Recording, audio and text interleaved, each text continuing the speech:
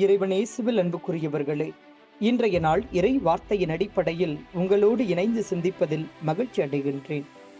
இன்று தாய் திரு அவையானது நற்செய்தியாளரான புனித மத்தேயுவை நினைவுகூர நமக்கு அழைப்பு விடுக்கிறது.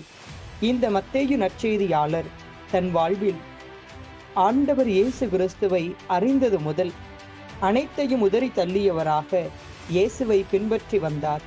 இயேசுவின் இறப்புக்கு பிறகாக தான் அறிந்த இயேசுவை பலரும் அறிந்து கொள்ளும் வகையில் அறிவித்து பலவிதமான இன்னல்களுக்கு மத்தியிலும் ஆண்டவர் இயேசுவுக்காக தன் இன்னுயிரையும் தியாகம் செய்தார். இந்த நற்செய்தியாளரை நினைவு கூறுகின்ற நன்னாளில் நாம் அறிந்த ஆண்டவருக்காக அவருடைய பண்பு நலன்களை நமது வாழ்வின் பண்பு நலன்களாக மாற்றிக்கொள்ள முயலுகின்ற தருணத்தில் எத்தனையோ எதிர்பாராத இடர்பாடுகளை நாம் சந்திக்கலாம். சந்திக்கின்ற போதெல்லாம் துவண்டு போய்விடாமல் நற்செய்தியாளராகிய மத்தேயுவை போல துணிவோடு இன்னும் ஆர்வத்தோடு கடவுளுக்குரியவற்றை நாடுபவர்களாக நமது வாழ்வை நாம் அமைத்துக் கொள்ள இன்றைய இறை வார்த்தையின் வழியாகவும் இன்றைய நாளில் நாம் நினைவு கூறுகின்ற புனிதரின் வழியாகவும் நம் வாழ்வை நெறிப்படுத்திக் கொள்ள நாம் அழைக்கப்படுகின்றோம்.